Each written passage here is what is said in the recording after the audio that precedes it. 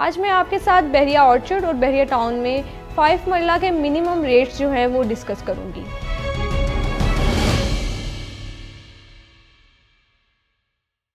अस्सलाम वालेकुम viewers I am Nazia Faiz from Titanium Group उम्मीद करती हूँ आप सब खैरियत से होंगे।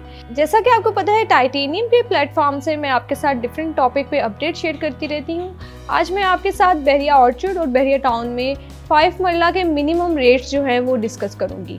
सबसे पहले बहरिया टाउन की अगर बात करूँ तो इन, इनमें जो सेक्टर्स हैं, उनके बारे में मैं आपको बताऊँगी। यहाँ पे ए बी सी से ई एफ़ तक के सेक्टर्स हैं, जिसमें अगर पाँच मरला की बात करूँ तो ये सेक्टर बी से एफ़ तक हैं। जिसमें मिनिमम रेट की अगर बात करूँ तो वो सेक्टर ई e और एफ़ में मिलेंगे। जिसमें आपके पास प्राइसेस की अगर बात करूँ, वो मिनिमम सिक्सटी प्लस से 75 प्लस में इनके रेट्स हैं।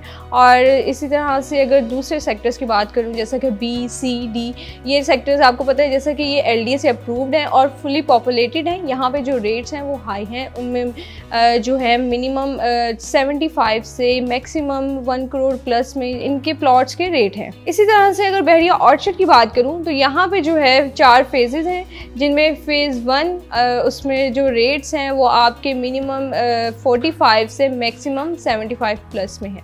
और इसी तरह से अगर फ़ेज़ टू की बात करूँ तो यहाँ पर जो है ब्लॉक्स आपके पास ए बी सी डी इस तरह से ब्लॉक्स के नाम हैं और मिनिमम यहाँ पे जो रेट है फाइव मरला का वो 40 से मैक्सिमम 65 तक है।